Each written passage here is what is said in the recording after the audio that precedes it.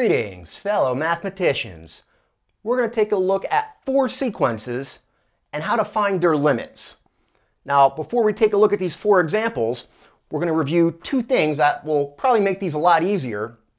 The first result is a very simple type of sequence or term where you basically have a number, r, maybe a real number, raised to the power n. And keep in mind here, n is your index for the sequence, which is going to approach infinity. Now, there's a few possibilities here depending on the value of r. And depending on the value of r, we get three different possibilities here. I like to point this out first with some examples. If r is less than 1, like r equals a half, think of what happens as you take powers of a half. It keeps getting smaller and smaller, eventually approaching 0. If r equals 1, 1 to any power is 1. So r to the n in the case of r equals 1 just approaches 1. And if r is bigger than 1, like 2 to the n, powers of 2 keep growing, and r to the n would approach infinity. Now there is a fourth, different possibility. If r is negative 1, think of what happens to negative 1 raised to powers. Negative 1 to an even power is positive 1. Negative 1 to an odd power is negative 1. This term, negative 1 to the n, it's going to keep bouncing back and forth between negative 1 and positive 1 forever.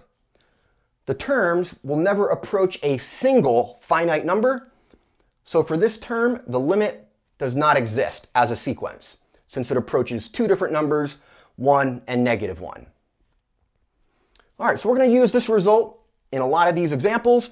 The other thing which we'll need for one of these problems is the squeeze theorem. And to review this very quickly, we have the term for our sequence, a sub n, squeezed between two other sequence terms. If the squeezing terms, the smaller and bigger terms, have the same limit, L, as n goes to infinity, then the term in the middle, a sub n, has the same limit, L, as n approaches infinity. All right, so we'll get to that at some point, but let's take a look at our first one.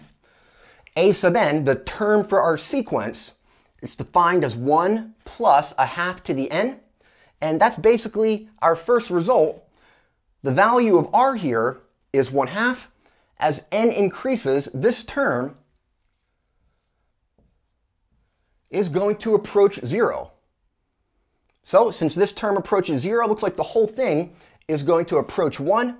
So in this case, for this example, we might write that this limit comes out to 1. The limit exists, the terms approach a single number, and they all approach 1 in the limit as n approaches infinity. All right, if we take a look at the second one, well, you can probably see the pattern here. This was r equals a half, less than 1. Now we have r as 3 halves. That is bigger than 1. This term is going to get bigger towards infinity. That's your last possibility here. r is bigger than 1. The limit approaches infinity. So we can say the whole limit here approaches infinity.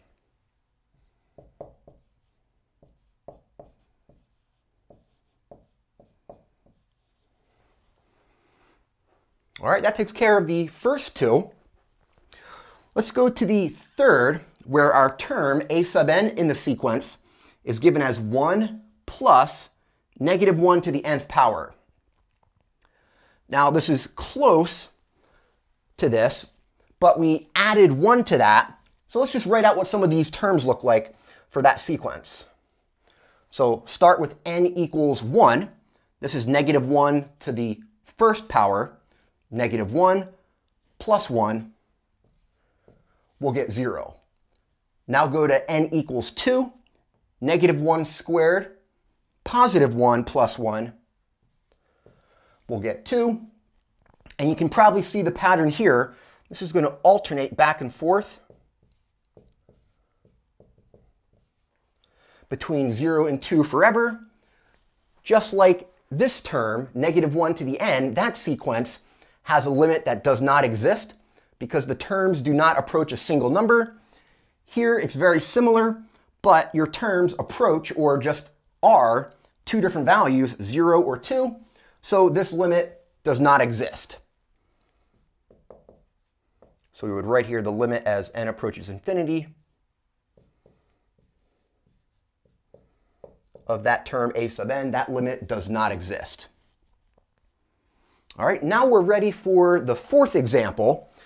The numerator is the same term over here from example 3, but notice now we're dividing by n, and that's going to make a huge difference. So let's take a look at some of these terms we basically have the numerators here. All right, so let's start with n equals 1. Our numerator is going to be 0 divided by 1, so that will just be 0. All right, now we go to n equals 2. Our numerator is going to be 2, but we're dividing by 2, which is 1. All right, the next term, when n equals 3, that's going to come out to 0 because your numerator is 0. But now when you go to n equals 4, notice you're going to get in the numerator 2 divided by 4. And you can probably see what's going to happen here. The next term after that would be 0. And let's write one more. The numerator goes back to 2, but now this is the case, and I have to count here. This is n equals 1, 2, 3, 4, 5, 6. Now we'll get 2 over 6.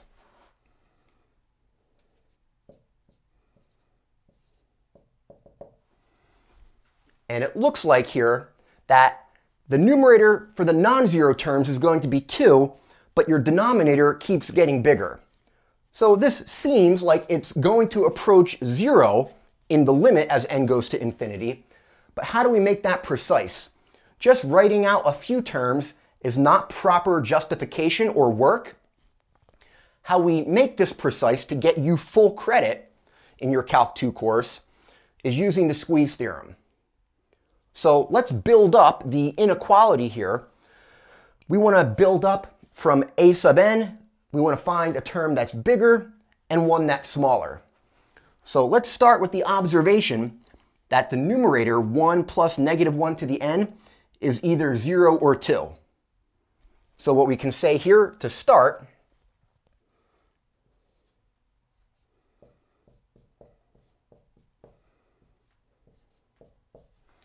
is that the numerator, 1 plus negative 1 to the n, it's between 0 and 2. Now, to make the middle here look like our term, I'm going to want to divide everything by n. So divide 0 by n, you'll just get 0. Divide the middle by n. That gives us our term for the sequence, a sub n. And now divide 2 by n. And what we want to check with the squeeze theorem is what happens to the ends, the bigger and smaller terms. Well, the smaller one just approaches zero. That's just zero. We have a constant sequence. And we have 2 to the n. Well, we have an n in the denominator. Your denominator is going to get really big. Eventually, that fraction becomes small. This also approaches 0.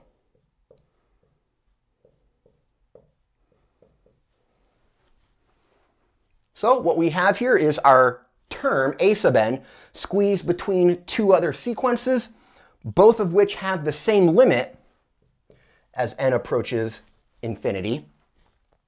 And what we can conclude from the squeeze theorem is the sequence or term in the middle approaches the same limit, in this case, zero. So basically from here, we would write that the limit as n approaches infinity of 1 plus negative 1 to the n over n. That equals 0 by applying the squeeze theorem.